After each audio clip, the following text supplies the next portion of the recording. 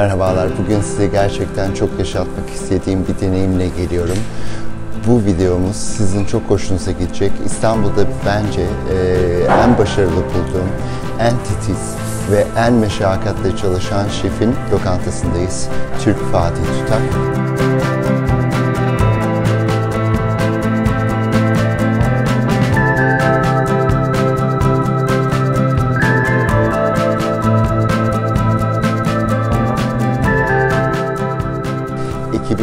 Bu akşam için hummalı bir çalışma içinde. Biz ise servis zamanı değil, lokantanın en güzel durduğu zaman değil, hazırlıkların olduğu zamanda buradayız. Gelin bakalım neler oluyor. Saat üç buçuk bir çarşamba akşamüstü.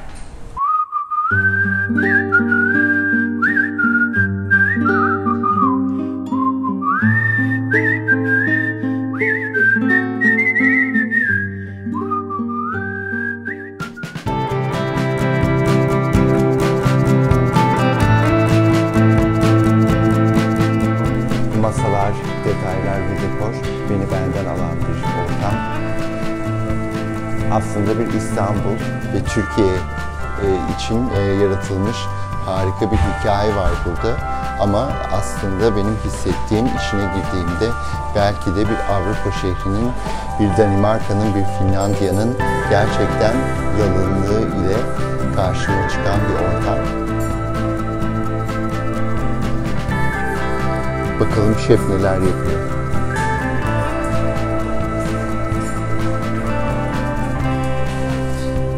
Ben onları rahatsız etmeyeceğim. Birazdan kendisiyle bir sohbet edeceğiz ama siz istiyorsanız bir mutfağa girin.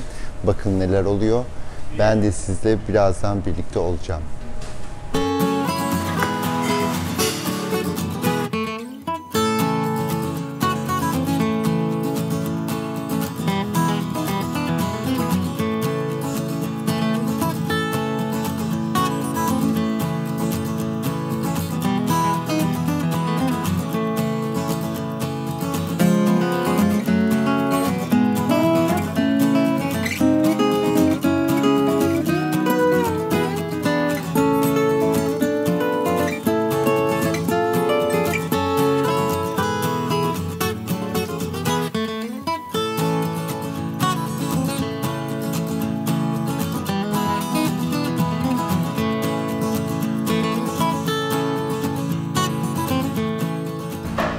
Dediğim gibi Şef Fatih Tutak'la birlikteyiz.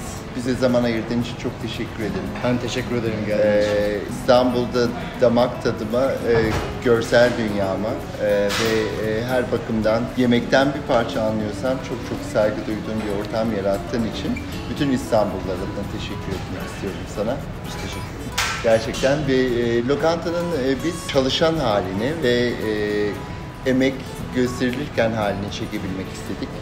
Onun için bize bir akşamüstü Arka planı. Arka Nasıl planda- hazırlıyoruz her şeyi? Her şeyi nasıl hazırlıyorsunuz? Bu dünyada neler var? Ee, masaya o tabak vurana kadar nasıl bir aşk var? Onu görmek istedik. Her şeyden önce tekrar tekrar teşekkür ederim. Ee, geçmişini çok kişi yazdı. Ee, çok konuşuldu. Biz de canlı yayında konuştuk. Onun için oraya çok zaman ayırmak istemiyorum ama hangi ülkelerde pişiyor? Buradan aslında ilk gittiğim yer Pekin oldu. Çin. Ondan sonra Tokyo. Tokyo'dan sonra Singapur, Hong Kong, Kopenhag, Bangkok ve İstanbul. İstanbul. Daha çok uzak doğu. Peki niye İstanbul? E çünkü İstanbul bence e, Türkiye'nin kalbi ve Türk mutfağı için eğer bir şey yapacaksanız tam kalbinde yapmanız. E, o kadar uzun yıllar orada kaldıktan sonra e, bir de Türk mutfağı için bir şey yapmaya e, başladım. O yüzden de e, gelmem gereken yer İstanbul. Zaten şöyle bir şey var. Tabii ki Türkiye'nin her köşesi çok güzel, çok hoş. Ama imkanlı olarak, teknoloji olarak e, tabii ki İstanbul e, her yerden çok daha ileride. İzmir ve Ankara da çok iyi ama herkesin toplanma noktası ve uluslararası globalleşmek için bence en iyi nokta İstanbul. O yüzden zaten İstanbul doğma büyümeyim. Doğduğum yere geri gelmiş oldum. Evet, demek ki orada ortak bir tarafımız var. Ben de 35 sene sonra İstanbul'a geldim. Beaumont olmasının bir sebebi var mı? Tabii ki sebebi var. Özellikle e, Bomonti'nin aslında çok sakin ama çok elegant bir neighborhood olduğunu düşünüyorum. E, aslında Türkiye'de şöyle bir şey vardı yani Türkiye açmadan önce ya işte böyle bir restoran bir otelin tepesinde deniz manzaralı bir yerde işte Boğaz'da olmalı kimse oraya gelmez. Çünkü hiçbir şey insanlara e, sunamaz, sunamazsın orada. Manzarası olması lazım dediler. Ben dedim ki dünyadaki en iyi restoranlar ya dağın tepesinde köyde olur ya da şehirde ise sokak arasında olur. Yerini bile zor bulursun. Çünkü biz burada manzara ya da restoranın yerini satmıyoruz. Burası izole bir yer olmalı, buraya yaşaman gerekiyor. Çünkü zaten tiyatroya gidince ya da sinemaya gidince balkon ya da cam var mı? Burası öyle bir şey. Buraya geldiğinde bir evente geliyormuşsun gibi çünkü. Evet. Yani ben de zaten Türk'te yaşadığım e, gastro deneyim bir tarafa, deneyim çok önemli. Onu her dakika görebildim. İlk geldiğim anda aşık oldum. Ben de detaycı olduğum için, işim de bu olduğu için zaten görebildim. Biraz ondan bahsedelim. Tasarım olarak e, nasıl yola çıktın? Yani aslında e, ben Asya'dayken artık son Bangkok'taki son senem artık Türk mutfağı için ve e, ülkede bir restoran açmak için aslında planlar yapmaya başlamıştım. Bir restoran hayal ettim kafamda. Şurada şu olacak, burada bu olacak, bunu buraya koyacağım. Servis stili, ışığı, masaların boyu, her şeyi tek tek yazmaya başladım, her şeyi. Ondan sonra bunları birleştirince Türk doğdu. Aslında Türkiye'ye gelmeden bir sene önce, bir buçuk sene önce aslında tasarlamaya başlamıştım yani Türk'ün bütün e, background'unu. Ama buraya gelince de tabii buradaki kafamda tasarladığım, hayal ettiğim mekanı yaratabilmem için gerçekten bu işi tutkuyla yapabilecek insanlara ulaşmam gerekiyordu. Bunun içinde e, dijital tasarımcı, seramik tasarımcısı, bıçak yapan adam, tabii ki miksolojisti, aşçısı, yani e, kapıdaki gördüğünüz heykeller, her noktadaki olan detayları gerçekten Türk artizan, ustalar, bunları bulmam gerekiyordu. Onları buldum. Türkiye'nin herhalde 10 bin kilometresini dolaşarak üreticilere ulaştım. Kim iyi salça yapıyor, nereden iyi deniz mahsulü bulabilirim, dalgıç var mı, şu var mı, bu var mı derken yani aslında bir örümcek nasıl böyle ağ yapıyorsa belki Türk'ü yaparken biz 150 kişiyle beraber çalıştık. Yani her şeyi farklı farklı.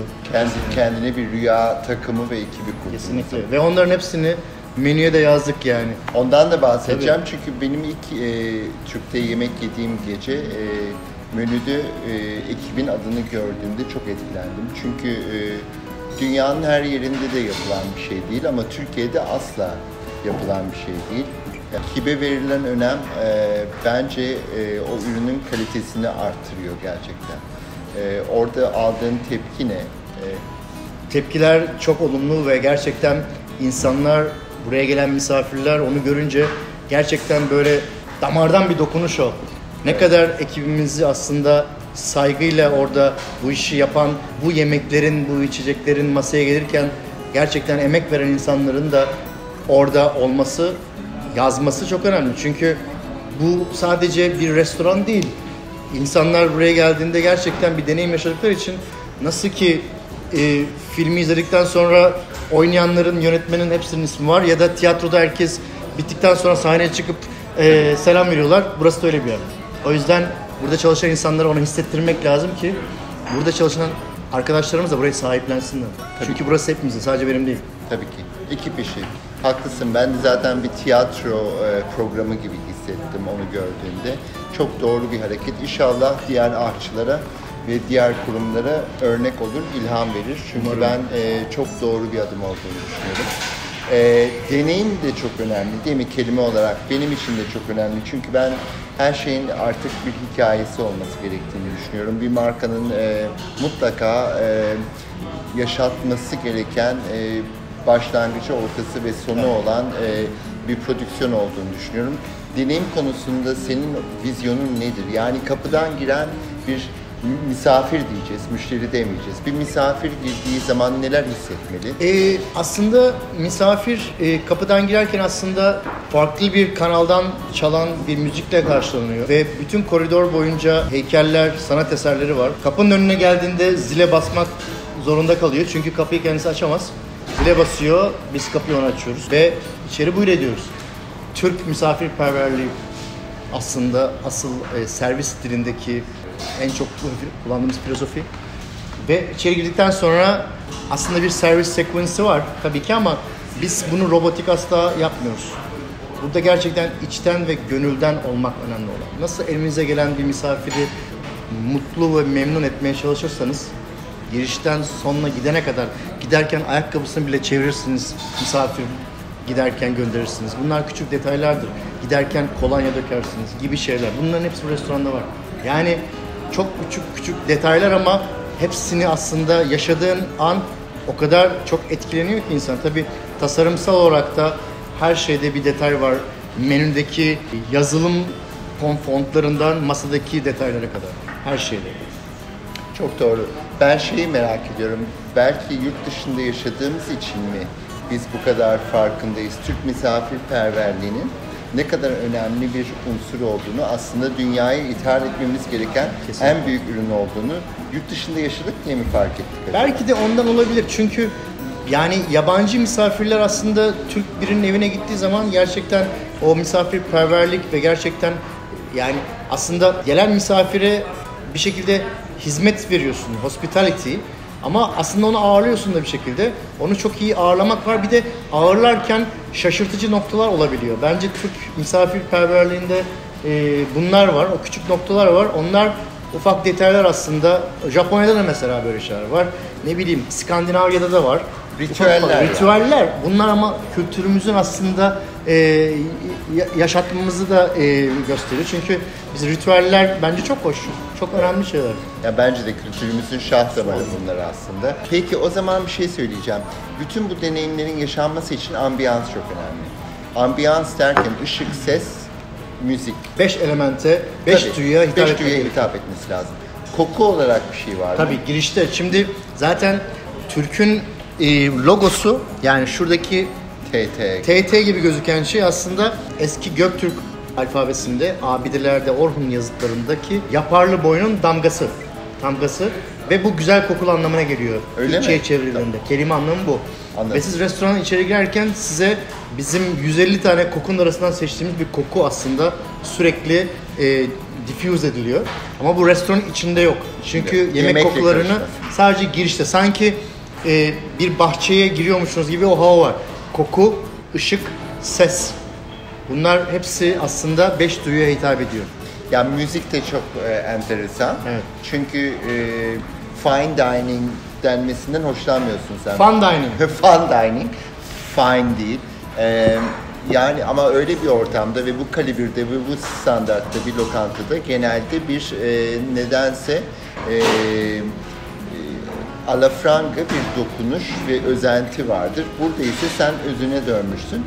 Müziğimiz Alaturka değil mi? Ben ilk lavaboya gittiğimde Farklı çalıyor. Farklı Orada şey. Zeki Müren, işte e, Müzeyyen Senar, e, eski işte e, Türk müziği yapan musikiyi çalar. Taş plak cızırtısı vardır orada. Evet. Burada modern Türk caz, birazcık enstrümantal, Barış Manço var, birazcık psikodelik Türk de var. İşte e, eski Türk filmlerindeki Hababam sınıfının müziği de var. Yeşilçam yani. Yeşilçam müzikleri de var. Dışarıda tamamen enstrümantal bir hava var. Sanki böyle bir şeyin başlangıcı gibi. Yani her yerde farklı müzikler çalıyor.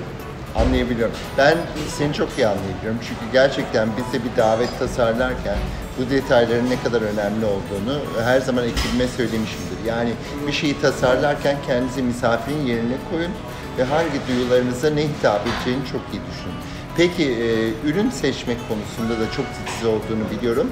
E, bunu okumaya ve e, anlamaya gerek yok. Zaten yemeği yerken çok mevsimsel bir menü var. Mikro sezonsal. Mikro Bayağı. sezansal ne demek? Yani- Sevilenler için. Mikro sezonsal ne demek? Patlıcanın öyle bir dönemi var ki en iyi olduğu zaman. Atıyorum işte. Temmuz 15 ile Ağustos 15 arası. Anladım. bir aylık çekirdeğinin en az olduğu, tohuma vermediği, içinin kar gibi lezzetinin en doruk noktaya geldiği yer. Domates de öyle, soğan da öyle, bir sürü malzeme var. İşte deniz mahsulleri, Deniz mahsulleri. kuzunun mevsimi gibi.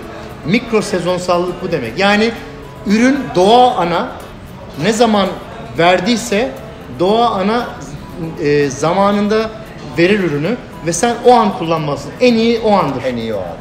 Ee, e, yöresel çalışıyorsun diye düşünüyorum. Yani Türkiye'nin her şehrinden buraya malzeme geliyor. Tahmin edebiliyorum. Evet. Biraz önce zeytinyağı tadıyordun Evet, değil mi? evet. Ee, peki Hakkıyla pişirerek yapılan yemek olmalı. Şunun gibi mesela. bu nedir? Geldi. Mesela Bu biber mi? Evet, bu biber hakkında her şey aslında. İyi bir kırmızı biber, tatlı Közlenmiş. kırmızı biber. Ya bunun hazırlanması 3 gün sürüyor. İnan. Öyle söyleyeyim. Ve aşamalarını anlatacağım şimdi. Hayret edeceksin. Yani malzemeye ne kadar iyi davrandığımızı, onu nasıl treat ettiğimizi gerçekten hani e, anlatan en iyi tabaklardan bir tanesi. Biber, İslenmiş. Evet, közleniyor, soyuluyor. Ondan sonra bir gece sirke ve sarımsakla, zeytinyağı ile beraber marine oluyor. Ertesi gün 80 derecelik bir fırında yavaş yavaş suyu uçurarak pişiyor. Piştikten sonra o biber artık biber derisi haline geliyor. Çünkü içindeki su uçtuğu için biberin tadı ortaya çıkıyor. Ve biberin suyu sıkılıyor. Suyunu da pekmez haline getiriyoruz. Şu pekmezi. Evet, görüyorum onu. İçinde de e, Neredeyse kırmızı şarap renginde. Tabii tabii. İçinde de e, Konya'da bir köyde yaptırdığımız koyun yoğurdu var ama yanmış İnan. koyun yoğurdu. İçinde gizli ve biraz da Sütlaç gibi Tabii neredeyse. içinde de e, birazcık kere, geçen sene yaptığımız kerevizden yaptığımız bir tarhana tozu var. O da umamisini arttırması için Kolaysa bunu evde yapın. Evet. Birazcık e, vişneler var. Tokat'tan gelen vişneleri yarı kuruttuk. Birazcık kurutulmuş domates tekniğiyle aslında. Üzerinde de keşan biberi var. Güneşte kurulmuş. Evet. Üzerinde de kızarmış keşan biberi var. Böyle ciğerciler verir ya böyle biber Evet, evet, kızarmış. O biber. Yani Bu aslında biber. portakal mı? O biber, keşan biberi. O da biber. Ha bu biber. Tabii burada tabaktaki her şey biber. İçinde de yoğurt gizli. İstiyorsan Tadı bir aynen. tadabilir Tadı, tabii tabii gizli. İçinde gizli her şey. Biberin o kadar yoğun bir tadı var ki isli muhteşem yani. Çok orijinal bir şey. Gerçekten. Ben kırmızı biberin de tadını çok seviyorum. İslenmiş. Evet. Küçükken onu e, soymak benim işimdi evde. Biber turşusu yapılır ya. Evet evet. Ondan sonra kesik yağdan konmuş. Hani terlesin de şey diye. Tabii o, o metodları kullandığını düşünmüyorum. Gerçekten. Eline sağlık. Süper olmuş. Şimdi şöyle, e, Türkiye gelmek istiyorsanız beni aramayın. Çünkü ben ilk yemek yedikten sonra tanıdığım her insan beni arayıp lütfen bizim için rezervasyon yapar mısın? Şöyle, ben gerçekten ekibinin e, ve bu mekanın e, her gece full olmasını diliyorum. Teşekkür E, ederim. çünkü e, gerçekten hak ediyorsunuz. E, bu kadar sevgiyle, saygıyla ve aşkla çalışan bir yemek durağının olması e, benim için e, çok değerli. Gerçekten. E, çünkü benim doğup büyüdüğüm İstanbul'daki gibi adım başı böyle deneyim yaşayabileceğiniz bir yer yok artık. Restoranlar azaldı evet. Daha çok İstanbul iyi restoranları hak ediyor. Daha çok açılması çok daha iyi olur. Ve gençlerin gerçekten iyi yerlerde çalışabilmesi için. Çünkü mutfak disiplini ve gerçek mutfakta çalışmak çok farklı yani. O yüzden mutfağımızı yani Türk mutfağını ne yazık ki dünyada kimse konuşmuyor. Ee, o yüzden konuşturabilmek için gençlerin iyi restoranlarda çalışması, iyi şeflerin altında çalışması, önce usta olmasını öğrenmesi gerekiyor. Önce usta olması gerekiyor. Ardından şef olunuyor. Önce usta olmak gerekiyor. Türkiye'de usta olmadan şef olmaya çalışıyorlar. O yüzden de e, olmuyor. Herkes şef olmaya çalışıyor iki senede. Öyle Evet, bir dünya maalesef, yok yani. Maalesef food television dediğimiz, e, burada da türevleri var ama e, televizyon starı olmak e, veyahut da e, sosyal medyada e, bir şef kişiliği olmak değil olay. Usta çırak ilişkisini her zaman her sektörde savunurum. E, duyduğunuz üzere şef de aynı şeyi söylüyor. Gençler e, Yani- merak sarın e, ve dediğin gibi gerçekten yurt dışında Türk mutfağını e, hakkıyla temsil eden e, bir yer ben tanımıyorum. İnşallah o sana denk gelir teşekkür ederim. ve e, onu dünyada bizi e, İnşallah insanlar gururla. Bizim için en büyük motivasyon bu olacak. bence de öyle. Yaptığımız şeyin karşılığı bu olmalı yani. Çok büyük bir emek var çünkü. Eline sağlık. Çok teşekkür ediyorum. teşekkür ederim. Türkiye hoş geldiniz. Ee, eminim ki hafta arası bir gece burada karşılaşacağız.